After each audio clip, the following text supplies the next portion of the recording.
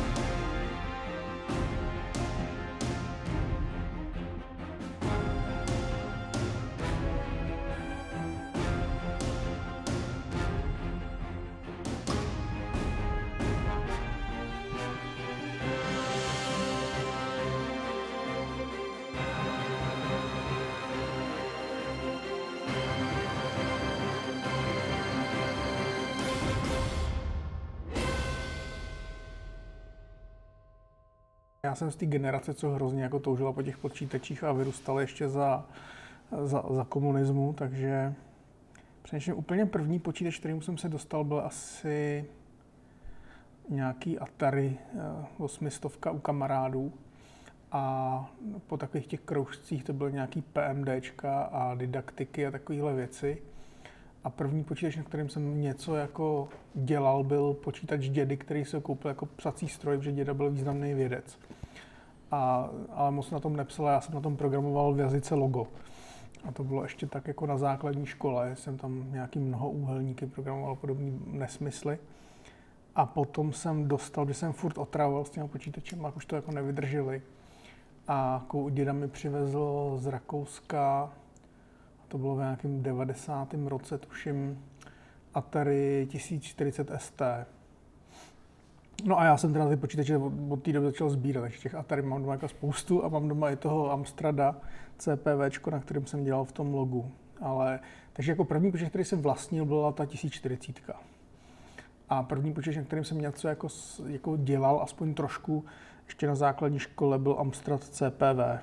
Já jsem si prostě na tom ST furt něco jako koutil, jo. psal jsem nějaký malinký hry a vlastně jako my jsme se znali ještě před Bohemkou s těma lidma, že většina z nich byli ataristi, jo, jako eh, že Marek s Ondrou měli Atari a byli v tom Atari klubu a já jsem vlastně na brigády chodil do RC, protože jsem pak měl slevu na to, jsem potřeboval koupit nějaký monitor nebo nějaký hardware a kluci, s kterými jsem eh, něco dělal, jako byl třeba Marek Nepožitek, že to bylo tak, že vlastně s jeho bráchou mladším jsem chodil na Gimple, takže jsem často jako nedojel do školy, že jsem skončil u nich doma, že, který měl taky jako Atari a tam jsme něco kutili a ten, ten psal hlavu Cassandry, takže my jsme vlastně furt dělali takový nějaký jako výtvory malý a ještě předtím, než ta bohemka vznikla. Jo. Že to bylo jako, že z domácího kutilství teda vzniklo něco, co pak se stalo jako úspěšnou firmou, ale to na začátku ani nebylo jistý, jestli z toho někdy nějaká firma bude. Jo. To prostě tak jako postupně se vyvinulo.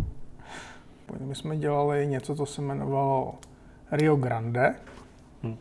A Rio Grande měla být taková 3D předělávka z hry právě 8-bitový na Atari 800 to se postupně, a to je taková hra, kdy se prostě letí letadlem a bombardují se nějaká vojenská technika na zemi, nějaký mosty a tak, ale to, to dlouho nevydrželo.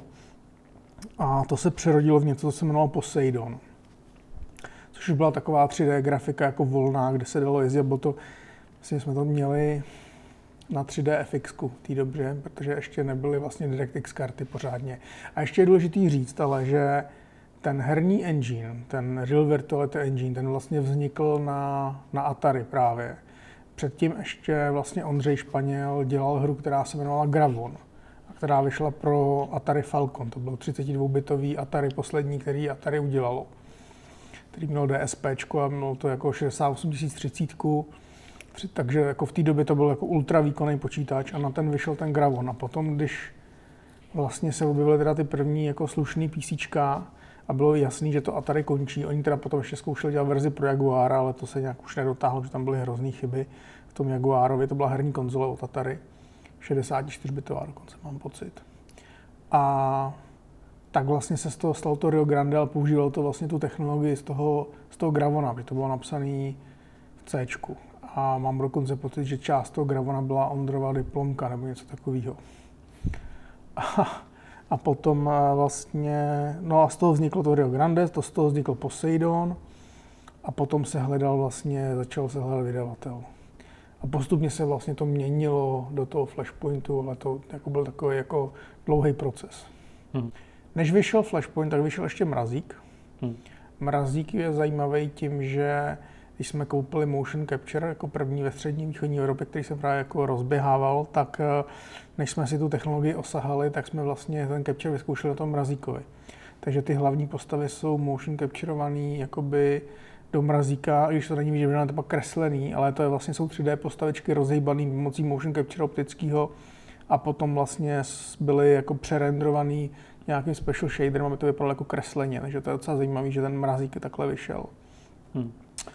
A přemýšlím ještě vlastně takhle, než ještě byla Bohemka a Flashpoint, tak já jsem se ještě podíval na nějakých jiných hrách, které nespadaly vůbec pod Bohemku, takže do Gooky jsem dělal nějaký 3D, 3D modílek, nějakých, tam byly nějaké animace na konci, kde něco vybuchovalo, tak jsem dělal tyhle věci do, do Gooky ještě než, ještě než vlastně vznikla Bohemka. Protože to bylo tak, že vlastně my jsme jako chtěli dělat hry a založili jsme firmu, která se jmenovala Kybernetic Cinema. A měli jsme takový projekt, který se jmenoval Nodus Domini, což byla taková renderovaná adventura, prostě Omni, kde se dalo rozlížet a hledali jsme někoho, kdo by to jako vydal na to peníze, ale to se nám nepovedlo. A ten tým se tak jako rozprch. Část lidí se chtěla věnovat prostě jako dělat firmu a že teda budu dělat weby a tyhle věci, protože to v té době jako začínalo. A já jsem dělal hrozně 3D grafiku. A tak jsem se vlastně potom dohodl s Markem a s Ondrou, že jim budu dělat modely do toho v té době tuším Poseidonu. A takže takhle to bylo. A ještě právě předtím, než tohle se stalo, tak jsme dělali nějaké drobnosti do té guky a taky jsme jednu dobu seděli na míráku ve sklepě, já už si nespomínám, jak se ten člověk jmenoval, ten, co dělal husit, strategii husiti a tyhle ty věci, tak jsme mu pomáhali s grafikou. Denis Černý se jmenoval, myslím. Tak s ním jsme seděli na tom míráku a když jsme zrovna nekoukali na filmy od Lynche a nejedli k tomu švestkový koláč nebo třešňový nebo jaké, já už nevím, a neházeli šipky do dveří, tak jsme mu pomáhali s husitama a s těmahle věcma. No. no. A nějaký, myslím, že jsme mu renderovali ty, ty krajiny, na kterých se ty husiti pohybovaly, nebo něco takového. Já už se to fakt úplně nevybavu, to je hrozný pravěk. Ale Eh, takže to bylo ještě vlastně, to byly ještě hry, na kterých jsem se nějakým způsobem podílel jakoby před Bohemkou. Ale jako drob, drobně to byly takové předsmrdávky, jakoby, jo. A potom teda jakoby vlastně, že jsme, ne, ne, nepovedlo se nám sehnat ty peníze na ten Nodus. A vlastně jsme byli akorát za Slávkem Pavličkem, myslím, tenkrát. A takže se to tak jako rozpadlo, kluci si šli dělat prostě ty svoje webové věci a nějaký multimediální CDčka. Já jsem chtěl hrozně dělat 3D, mě vždycky zajímala ta 3D grafika takže jsem vlastně začal pomáhat Markovi s Ondrou a v té době byl jenom Marek s Ondrou, takže já jsem byl jako třetí, kdo začal něco dělat na Flashpointu, ale v té době ještě jsme netušili, že to na Flashpoint samozřejmě. Jak tohle vlastně vzniklo? Protože v době, kdy vy jste dělali Flashpoint, tak vlastně podobná hra asi úplně nebyla. Ne? To bylo takový to, jako že jsme byli asi perfekcionalisti. My jsme prostě chtěli dělat jako hru, která bude co nejvíc jako aby byla spravedlivá pro obě ty strany toho konfliktu a furt jsme jako přidávali další věci a vymýšleli, jak by to mohlo jako fungovat a to tak jako vyvinulo. Jo.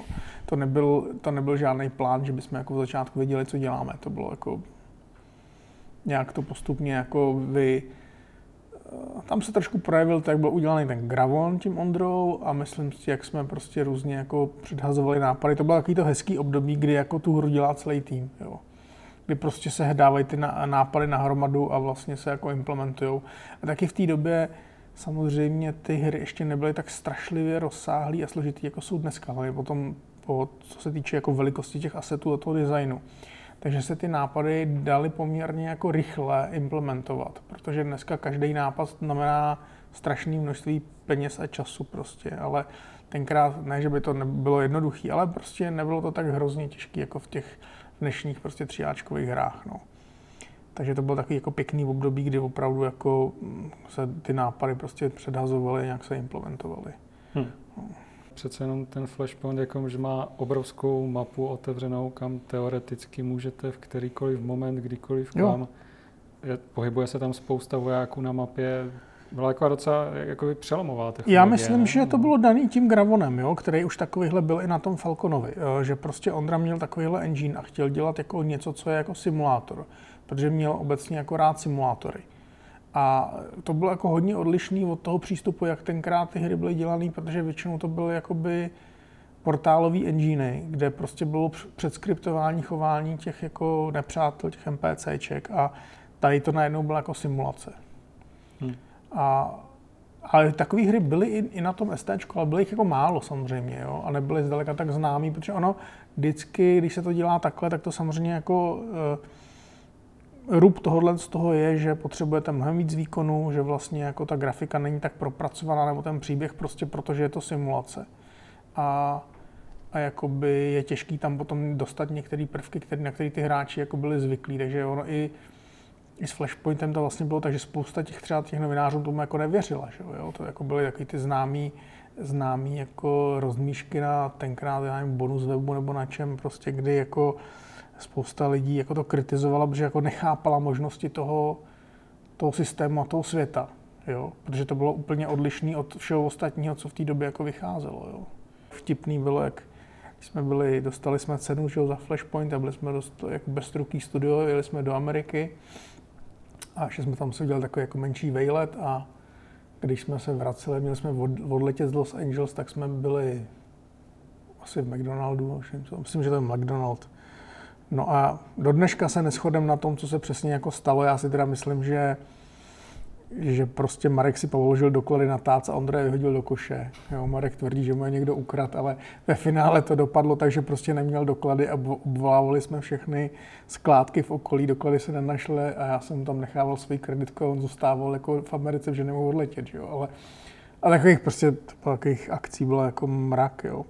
Ale na téhle akci byla jedna věc hrozně pěkná. My jsme potom, jako když jsme dostali tu cenu, tak jsme uh, si udělali vejlet do Yosemite, že jsme původně mysleli, že je přejedeme, což se samozřejmě nepovedlo, by jsme netušili, že v té době tam budou 3 metry sněhu, takže jsme v těch karťasech vylezli z auta, že se budeme podívat na sekvoje a to jako úplně nedopadlo, ale já chci mluvit čím jiným, že jsme stáli v tom údolí a koukali jsme na, na ty kopce prostě s těma lesama a já jsem říkal Ondrovi, kolik si myslíš, že tam jako stromů, jestli to někdy bude jako možný, aby jsme tohle jako kreslili, že jo. No a dneska, když se člověk podívá na ty hry, jak je to úplně jako normálka, že jo? takže to mě přišlo jako úžasný, že když jsme se o tom tenkrát bavili, jak je to dlouho, to jsme tu cenu dostali, jo? ale 20 roku asi, no, nebo 19 třeba, tak prostě se to všechno jako splnilo, že jo. Tak to mě přijde jako fascinující. Hmm. Pak jste teda udělali datadisk. Resistance. Pak, pak jsme udělali Resistance a mimochodem tu cenu jsme podle mě dostali ve chvíli, kdy se pracoval na tom Resistance. No. No. no pak jsme udělali datadisk. Po datadisku jsme se asi stěhovali do Mníšku z Košíř. Potom se dělal, pak se začal dělat jakoby Xboxová verze, to byl strašný průšvih, že jo, to jako jsme málem se položili, protože se ukázalo, že Xbox nemá 128 MB, ale jenom 64, že jo? I když Microsoft na začátku říkal, že tam bude 128 a ještě těch 64 bylo sdílený s grafickou kartou, takže to na to vůbec neběželo, že jo? No a strašný dlouho trvalo, než se nám povedlo prostě to zoptimalizovat, tak aby to běželo na tom Xboxu. Na Češ ve chvíli, kdy se to teda jakž takž povedlo a vydali jsme to, tak vyšel Xbox 2, že jo? Který nebyl kompatibilní s tou jedničkou, takže prostě me, mega průšvih. Jo. To bylo prostě úplně v pytli, to jsme si mysleli, že, že se fakt jako položíme. ale vlastně povedlo se udělat, to jsme vzali ten nový engine a udělali jsme z toho Arm Assault, že jo. Dělali se nový mise, že tam byl ten Queen's Gambit, tam už to nepamatuju, a prostě vyšel Arm Assault a, a vlastně jsme těžili z toho optimalizovaného engineu. A pak byl nějaký, nějaký datadisk do toho asi ještě, já už se nepamatuju. Takže tak, no. No a potom byla Arma, Arma 2 už asi, no. No a tady to ještě, když se vrátím, tady, tady ta část, kdy vlastně to Codemasters vám vydávalo Flashpoint a pak si jakoby nechalo to jméno a vy jste tu No tam byly spou- spousty jakoby roz, rozmíšek s těma Codemasters, že jo, tam ty vztahy se jakoby postupně jako zhoršovaly. Já vím, že jeden z průšvihů byl, že Oni vlastně kupovali, my jsme v té době, že jo, když byl Flashpoint, tak samozřejmě, jak se ukázalo, jak se dá snadno modifikovat, tak byly různé jakoby firmy, které to chtěli použít jako k těmu vojenskému výcviku. A vlastně se, ten člověk, co dělal muziku do, do Flashpointu, David Legetis se tuším jmenoval, tak ten prostě založil v Austrálii jako firmu, eh, z který pak vznikl Bisim. Jo? A vlastně jakoby měl ty nástroje naše a, vlastně, a Bohemka v tom měla, myslím, podíl v té firmě, já už někdo věděl, spíš Marek, a prostě vydával vlastně VBS, že jo. No a pak se ukázalo, že Codemasters bez našeho vědomí, když to jako nesměli vůbec dělat, tak tuším, že prodávali nějaký americký firmě Flashpoint, který ho prostě rebrandovali a prodávali ho jako vojenský simulátor. A my jsme z toho už neměli nic, jenom platili Codemasters, že jo. Takže to skončilo soudem v Americe. A postupně se jako ty vztahy s Codemaster s tímhle a dalšíma věcmi jako zhoršovaly, protože oni nás tlačili do toho, aby právě měli na to všechny ty práva i na tu technologii a tak. A se to taky dělo, protože v těch Codemaster docházelo k jako velkým personálním změnám. Já už to jako přesně nepamatuju, ale oni na tom taky nebyli úplně dobře, takže mám pocit, někdo koupil nebo zafinancoval, když se měnil ten management, jo, vlastně už to nebyly ty původní lidi, co dělali toho Dizzyho a při ty původní Codemasters, takže se jako zhoršovaly ty, ty vztahy. No. Uh, ale to jeden z, jeden z jako takových jako opravdu velkých problémů bylo to, co se stalo právě kolem těch simulací. No. no a oni měli prostě práva na to jméno. Protože to, bylo, to je zajímavá historka, to bylo tak, že původně se vlastně ještě jsme měli, než se to jmenovalo jako Flashpoint, tak se to jmenovalo, mělo jmenovat jako status quo, jako Cold War status quo, nebo něco takového. A když jsme, když vlastně, že ta historie byla taková, že že vlastně to nejdřív patřilo, jako právo na vydání měl Interactive Magic, to byla americká firma, ta se položila a od nich ty práva prodal, jako by koupil někdo jiný, mám pocit, že to byl jako Infogrames, ale doufám, doufám, že jako nekecám, nebo Ubisoft, někdo z těchto těch, myslím, že Infogrames, nevím. A ty, to, ty řekli, že prostě dělají jenom dětské hry a prodali to Codemasters, že jo. A jo, vlastně ten, tu hru, jakoby takovou, že my jsme mezi tím jako hledali se vydavatele, znovu se nevěděli, jestli na to bylo peníze, že jo, to furt bylo takový jako hm. vždycky jako jednou nahoře, jednou dole nebejt Slávka Pavlička, tak bychom se asi, to by nikdy nevyšlo, protože bychom se mezi tím zase jako zkrachovali, že jo. No a tam byl právě název status quo a Codemasters řekli, že, že to nejde, protože to je uh, britská kapela, kterou poslouchají akorát homosexuálové, že takhle to nemůže být, prostě nám se to jako líbilo jako latinský název, ale prostě v Anglii to takhle být nazvaný nemohlo a tím se změnil ten název a jim ten název patřil, protože Marek si to možná bude pamatovat líp, jak to bylo. Něco takového tam se tam událo. Jako. no, takže jim patřil ten název, že nám patřila jako technologie, ale jim patřila ta značka. No a když jsme se pak jako rozkmutřili, že jo, tak oni si řekli, tak my si prostě uděláme svůj, svůj, svůj, svůj flashpoint, že jo. A ještě, on to bylo ještě tak, že my jsme samozřejmě dělali nějakou tu Game 2, a jako nestíhali jsme ji udělat, že jo? protože jsme byla hrozně ambiciozní a z ní pak vznikla ta Arma 2, že jo? ale tím vlastně, že oni jako byl, byli asi naštvaný, že to furt není a zároveň tam docházelo k těm tahanicím kolem těch simulátorů, tak potom jako se ty vztahy prostě tak až tak, až tak jako zhoršily, že že prostě si řekli, že oni si udělají Flashpoint 2 a my jsme si udělali Armu 2 a, ale vedlo to k tomu, že jsem byl jako velmi motivovaný udělat lepší hru než oni, tak to bylo nějaký pozitivní efekty to mělo. Jako. Jasně. A Pak jste teda udělali tu první armu. Jsme udělali tu první armu, no. A, a pak byl ještě nějaký Take-on helikopter, to jsem taky na tom dělal. Já už jsem potom, takhle, já jsem vždycky jako se víc zabýval tou technologií, než těma hrama jako takovým. Jo, takže já jsem prostě řešil takové věci, jako byl právě motion capture. Když jsme úplně začínali, tak jsem vlastně Ondra že psal, než to dal jiným programátorům vůbec. Uh, ne, možná ještě potřeba vysvětlit, že v době, kdy vznikal Flashpoint, tak vlastně nemoc nebyly ty nástroje. Jo. Dneska prostě není problém si koupit engine, jo. bohužel Unreal nebo Unity nebo něco, to nebylo. Si měli svůj engine. Nebyly modelovací nástroje, sice bylo jako 3D studio, ještě dosový, ale to mělo strašně špatně pracovat jako s low poly modelama a v té době ty modely musely hrozně low poly.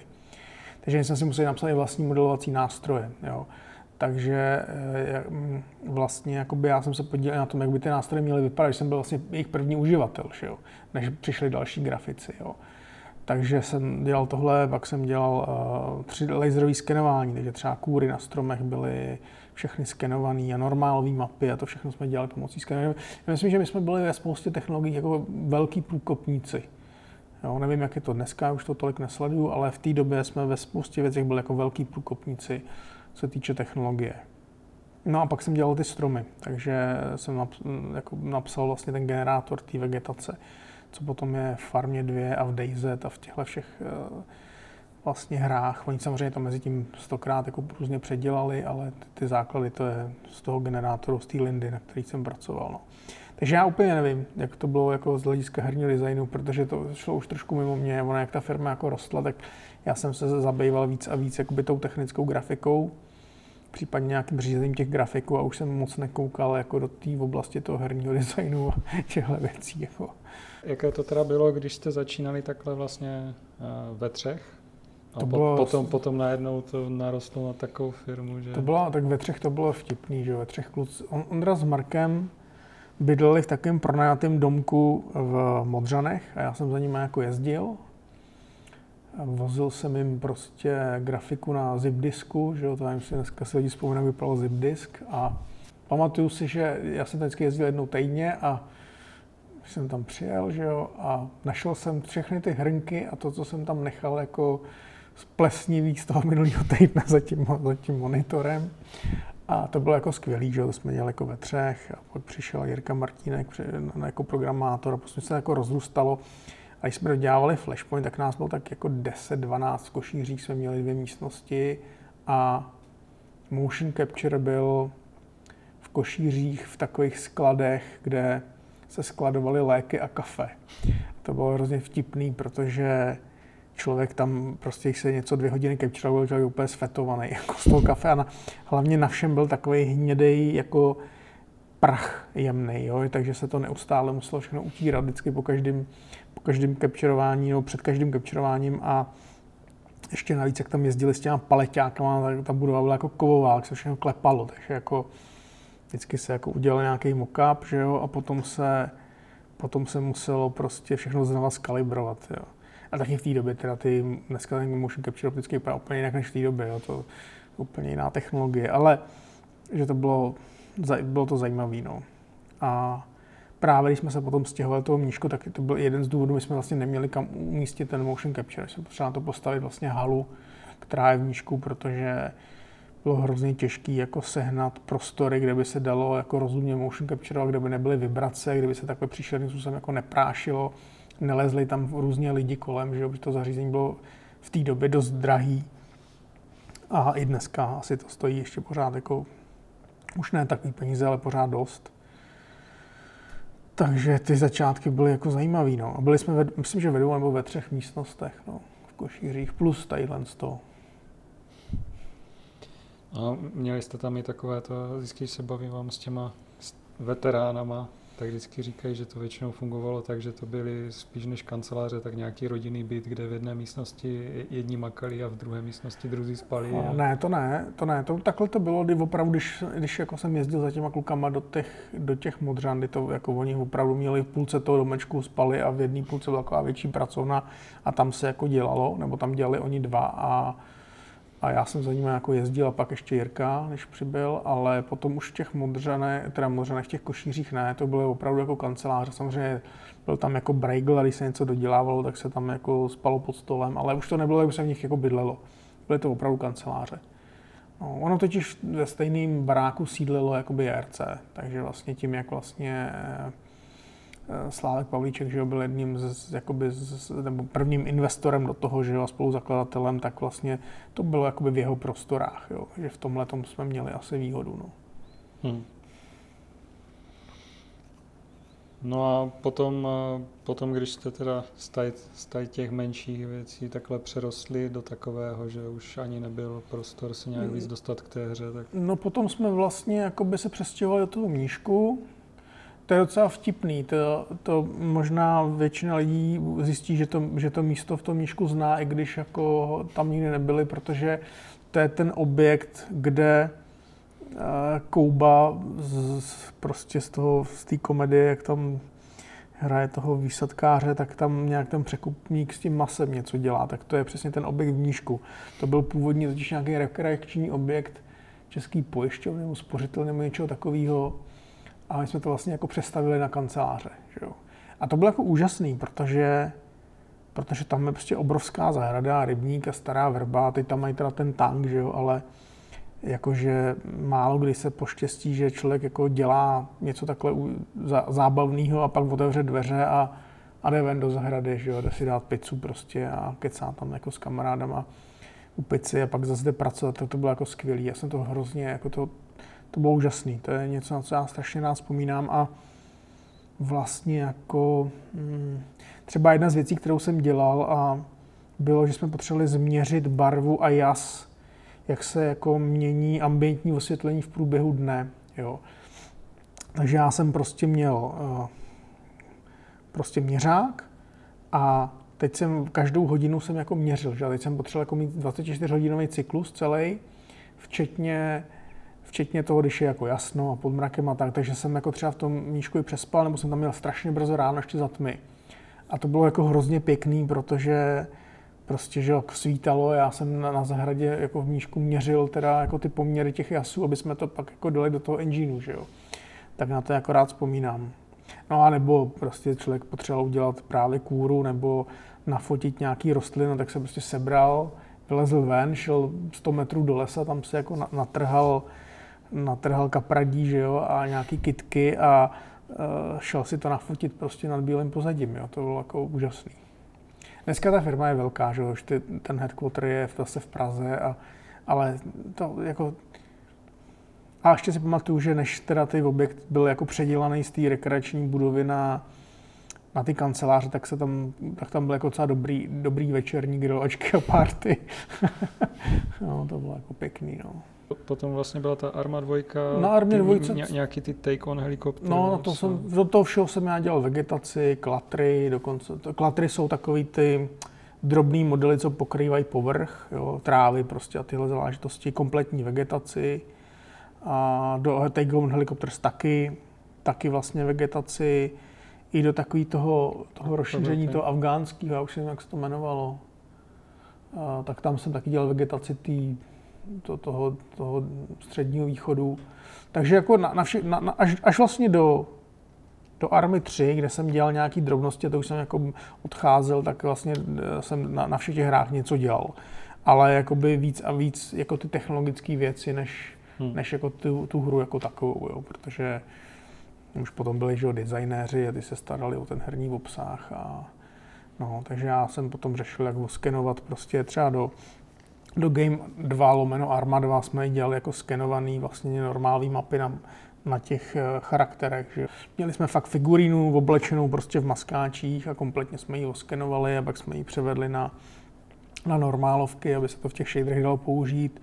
Stejně jsme dělali kůry na stromech a jaký opakující se textury povrchu a podobné věci. To všechno se dělalo pomocí laserového skenování. To byl vlastně strašný pokrok, když si člověk uvědomí, že když jsme jako začínali, jo, že v, době toho Poseidonu, tak nebyly digitální foťáky, byly strašně drahý a strašně špatný. A my jsme dělali textury tak, že jsme opravdu jako vzali papírový časopis a ten jsme strkali do skeneru a pak jsme v tom ve Photoshopu prostě jako vyřezávali ty textury a ještě jsme vždycky museli voskovat na hrozně vysokém rozlišení a pak to jako zmenšit, aby se ztratila aby se ztratil ten sítotisk, jo? protože prostě v tom skeneru samozřejmě bylo vidět, jak jsou ty body jednotlivý barevný rozpadlý. Že jo? No a když jsem odcházel, tak jsme používali laserové skenery že jo? podobné věci. Jo? Takže to bylo jako vlastně jako zpětně, když se to člověk podívá, tak uh, za tu dobu vlastně já jsem byl uh, někdy, že jo, 96. jsme začali dělat na, na Flashpointu, nebo ještě se to možná nemělo, to byl asi ten Poseidon, ale prostě ten kolem roku 96 a 2011 jsem jako vyloženě jako už odešel a tak to je hrozný, to byl strašný technologický skok jako za těch 15 let, jo, to prostě bylo neskutečné. Pak teda se dělal ještě Career Commander? Nebo jo, a ten se dělal ale v Praze. To bylo tak, že to dělali hlavně lidi, kteří z původního Black Element Software. Jak jsme seděli v těch košířích, tak v těch košířích taky seděla ještě jedna firma, která se jmenovala Black Element Software. A pak jsme je, myslím, koupili. To už se nevybavuju. Asi jsme je koupili. A oni potom jakoby z části lidí z Bohemky, kteří se nechtěli jezdit do Mníšku, že to pro ně bylo daleko, a z toho Black Elementu vznikla taková skupina, která byla dál v těch košířích a dělal na tom career komandu. Tohle, a já zase nějaký stromy jsem jim dělal, jo. Generoval jsem nějakou vegetaci do toho career komandu, ale jinak o tom, tím, jak tohle neprobíhalo v nížku, tak o tom jakoby málo, že jsem jenom párkrát jakoby za ním do Prahy něco nagenerovat, ale jinak, uh, jinak uh, to, už, to už byla právě taková ta fáze, už ta Bohemka začínala jako velká že už měla nějaký lidi v Brně, nějaký lidi v Košířích, v Míšku, jo, že se to začínalo tak jako rozrůstat. A je to tak, že vždycky, když pohltíte nějaký ty další firmy, tak jsou v nich nějaký lidi, kteří jsou jako extrémně šikovní a mají nějaké ambice. A v tomhle případě si myslím, že za tím s enginem stojí Fido, který právě byl jakoby nejdřív v tom Black Elementu a ten si vyvíjel svůj software, takže ten Career Command právě neběžel na, na, na, na Real Virtuality Engineu, co používá prostě DayZ a, army a to, ale právě vlastně na engineu, který psal ten Fido. A oni se pak postupně jako rozhodli, že vlastně jako tyhle engine nějakým způsobem slijou, respektive, že dopíšou ty věci z toho, protože ten Real Virtuality Engine začal asi zastarávat, tak se, že, že přepíšou ty jeho funkcionalitu do tohohle, z toho engineu jeho a nějak to uh, budou mít prostě nový engine. A nevím, jakým stavu to jako mají. Jo. Ono, je vždycky problém v tom, že když prostě nabíráte ty další, další lidi, jak je hrozně těžké jako udržet ty technologie na jedné hromadě. Jo, takže já vím, že na něco dneska používají Unreal, na to Vigora a mají něco v Unity a dobíhá, že DayZ furt běží na, na Real Virtuality Engineu, do toho teda vyvíjejí tohle. To, na můj vkus je to jako moc roztříštěný, ale eh, asi je to za rychlej růst té firmy. Hmm. Jo.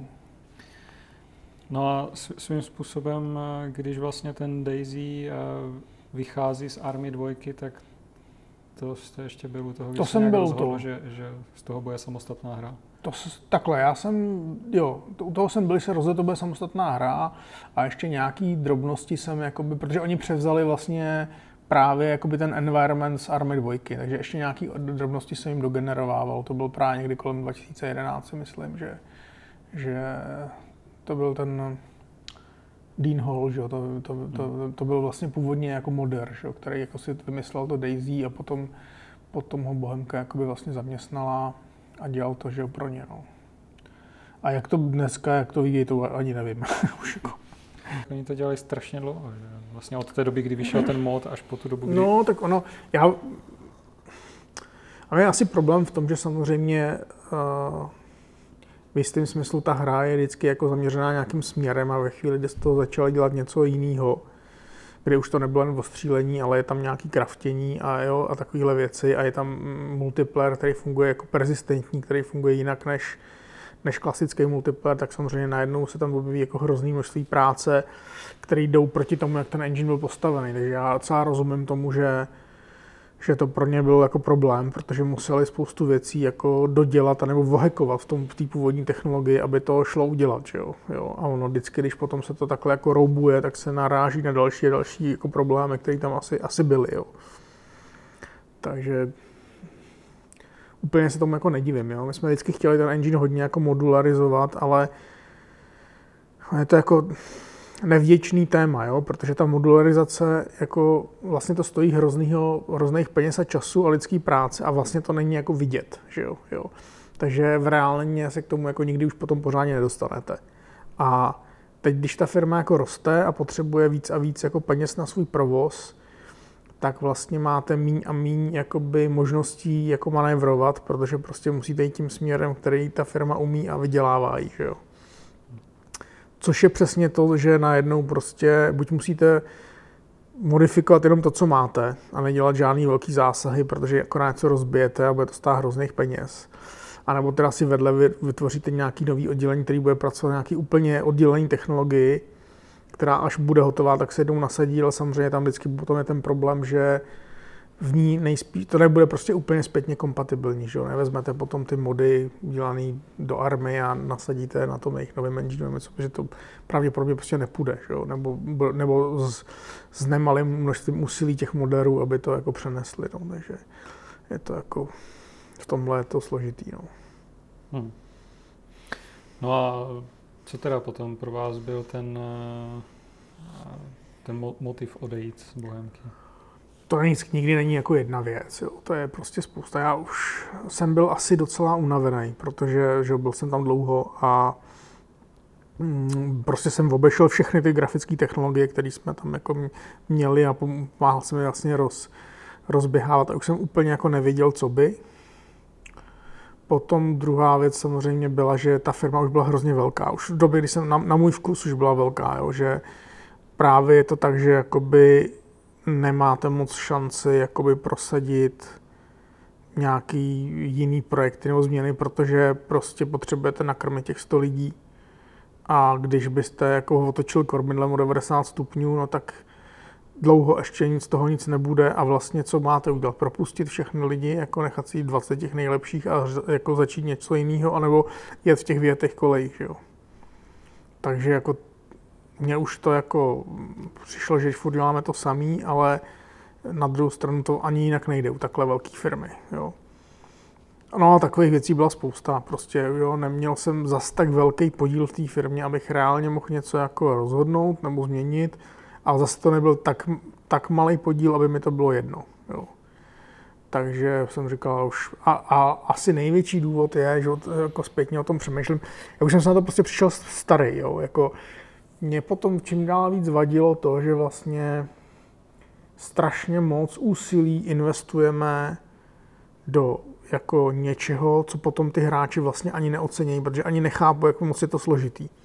A říkal jsem si, dobře, tak prostě bude ti tyjo, za chvíli 40 v té době, že jo, nebo prostě když jsem odcházel, tak dobře, byl jsem o 10 let mladší, ale takže jo, a říkal jsem si, tak budeš prostě do 50 dělat hry a ještě budeš jako vyvíjet nějakou technologii, kterou vlastně jako ta hra vyjde, ty lidi si ji zahrajou, za dva roky už ji ani nespustějí, protože to prostě na těch počítačích nepoběží a jako ty jsi do toho prostě investoval polovinu svého života, jo jestli není čas začít dělat něco jako rozumnějšího.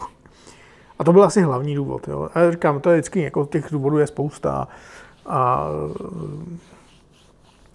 zpětně si tohle myslím, že byl hlavní důvod, že už jsem prostě měl pocit, že 20 let v herním průmyslu je, jako, je vlastně už dost.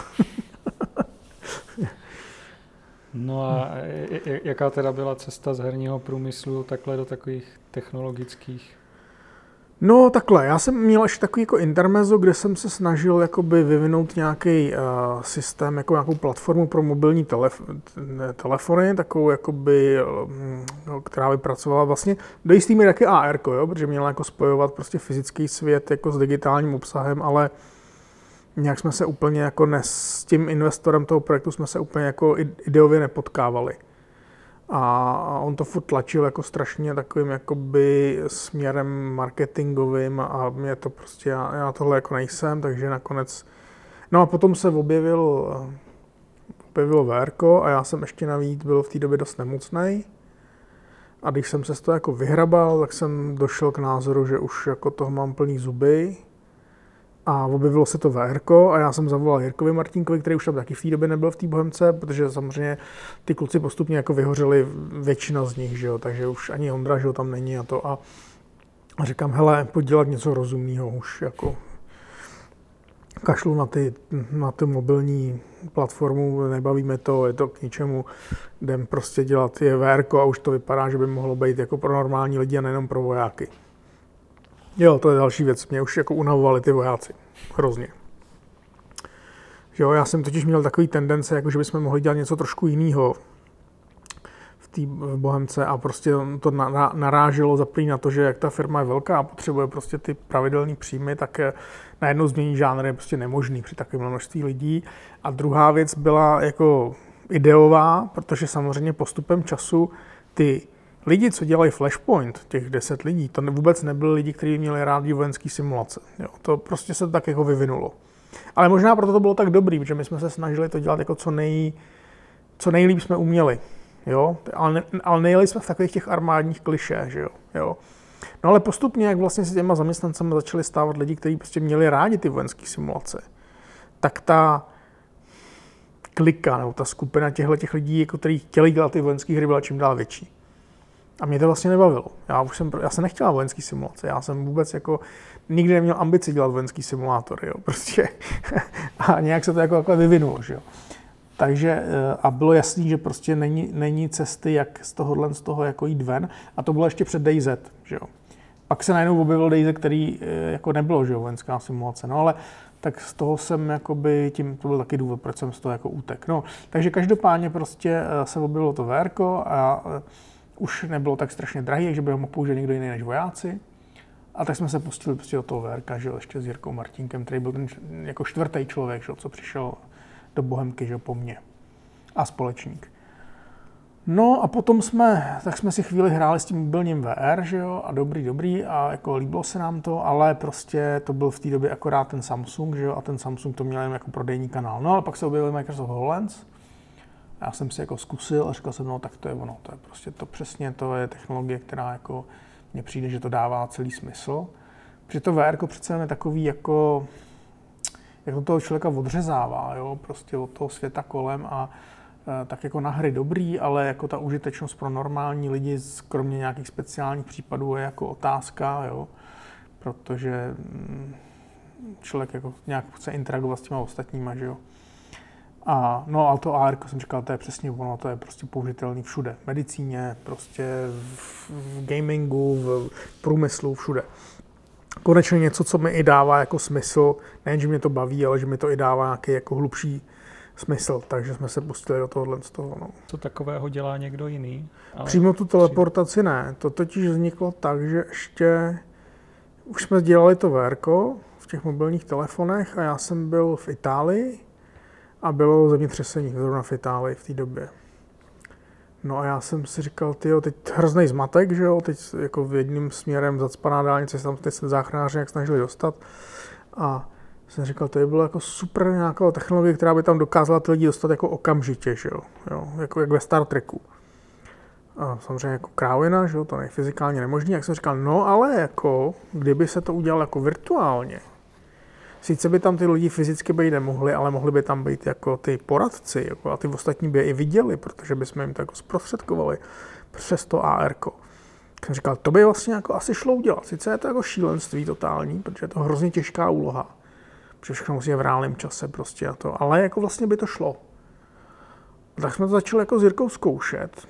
A jako něco málo jsme udělali a řekli jsme, jo, to by jako bylo to je ono. To je stejně na světě, jako není takový blázen, aby to zkusil, tak to prostě zkusíme, že jo. Takže tím jsme se do toho pustili, no a potom vlastně další impuls byl, jsme to, takovýhle demo jsme ukazovali na nějaký výstavě a přišli tam lidi z, z jaderního strojírenství, že jo, a říkali, tyjo, to by se nám hodilo v Temelíně, tohle to. A najednou, kromě toho šíleného nápadu, že zkusíme udělat něco, co nikdo jiný jako na světě neumí, tak vlastně jsme měli i jakoby vlastně business case, že jo, jakoby, jo, kde se to dá použít. No a pokud už bylo jako to jasný, samozřejmě ta cesta jako je mnohem složitější, než jsme si představovali na začátku, a to je tak vždycky, že jo. No, takže takhle jsme se k tomu jako dostali. A jinak ty technologie nejsou zase tak odlišné od toho herního průmyslu, pokud jakoby se budeme bavit o herním průmyslu, který jako dělá své technologie. Teď nemyslím o takových těch firmách, co si vezmou teda to Unity a něco v něm jako dělají, ale ty firmy, co si píšou vlastní enginey nebo dělají nějaký jako pokročilý asety do těch teda engineů třetích stran, tak eh, pořád je to prostě nějaký jako 3D skenování, nějaký metody jako strojového vidění, jo, všechny tyhle věci jsou hrozně blízko tomu, co je v té v to, co je v tom herním průmyslu, protože je to pořád real-timeová grafika. Jo? Takže všechny ty metody, které se používají ve hrách, tak mají dost jako uplatnění i tady. Jo? Jenom ten biznesový přístup je trošku jiný. Že? U toho, u těch her prostě si myslíte hru a pak ji děláte a doufáte, že lidi bude bavit. Tady uděláte nějaký jako proof of concepty s tím průmyslem a potom vlastně vytváříte systém tak, aby, jako oni, aby pro ně fungoval. Ale v tom je to skoro jako zajímavější, jo? že vlastně jako jednou se podíváte ke stíhačkám, po druhý k jadernému reaktoru, jo? To, mě to baví. Já tím, jako, že jsem vlastně nátorou spíš technolog, než herní designer, tak mě to jako baví. Je to, jo, že to vidím v tom jako to, ten přínos. Hmm. Fata Morgana se to no. teda jmenuje. Pro každou firmu je to potom jako custom, že asi... No ne, my se, snažíme, my, se jako, my se snažíme vytvořit jako platformu, jo. Zná, nemělo by to být custom, Teď už vlastně máme první takový jako kufr tomu říkáme, což je něco, co je třeba nasazení ve Škodovce a ty by měly do Škodovky další dvě licence, takže a to není custom, to je prostě už normální produkt, který se dá jako prodávat. Samozřejmě, že potom o ním chodí a říkají, my jsme chtěli ještě tohle, my jsme chtěli ještě tohle, a my jako máme že jo, dvě možnosti. Buď jako řekneme, hele, tohle by se hodilo i ostatním a zařadíme to do nějakého plánu, co bude v nějakých dalších třeba upgradech, jo, updatech, že chtějí něco, co by využili i ostatní, anebo chtějí něco strašně specifického a pak se to prostě musí nacenit jakoby, jako speciální funkce, modul, plugin jo, do toho systému. Ale prostě to vychází z potřeb toho reálného světa, no, což je jako fajn, jo, že řešíme prostě věci, které jsou potřeba, jo, hmm. opravdu. No právě, že jsem měl představu, že třeba asi v té jaderné energetice potřebují něco trošku jiného než ve Škodovce. Nebo... No, oni to spíš takhle. Oni ve skutečnosti ten systém použije stejný, jenom ho využijou trošku k něčemu jako jiným způsobem. Jo? A že třeba, jak to měl popsat, rozdíl, tak dejme tomu v té jaderce když si projdou tu aktivní zónu, to znamená místo, kde jako je nějaká radiace a kde je hrozně těžký jako 300 metrů od toho máte kancelář, ale dostat se tam je na dvě hodiny, kde se musíte kompletně slíknout, oblíknout se do munduru, vzít si dozimetr, někde se zapsat, projít čtyřma kontrolama různýma, jenom abyste zkontroloval šarže na hasičáku. Tak ve chvíli, kdy tam máte někoho s tím naším systémem, tak tím, že on se tím projde, tak má ten prostor zmapovaný a může si ty šarže prostě přečíst nebo mu tam dát za úkol, aby udělal tohle z toho. To je třeba použití v jaderce. Ve Škodovce jako vlastně to slouží třeba k jiným účelům. Když se projdete kolem linky, tak potom víte, jestli se vám tam něco vejde, když budete mít motor, protože uděláte konstrukci, nebo si uděláte nad tím jako by the way vzniklým skenem prostě poradu, kde si označíte, co se bude dělat příště nebo tak. Takže vlastně jako stejnou technologii použijete trošku k jiným účelům ale ve finále jako naštěstí 90% těch potřeb těch firm jako je stejných. To znamená, my víme, že když tyhle chtějí, co já vím, animovat checkpointy kvůli logistice, tak je jasný, že to ty vedle použijou taky. Občas jsou nějaký požadavky, které jsou fakt jako specifický a buď řekneme, hele, prostě to neuděláme, protože je to strašně práce a jenom pro vás, anebo si to prostě zaplatěj, ale většinou je to jakože platforma. No. Má Teď máme 18 lidí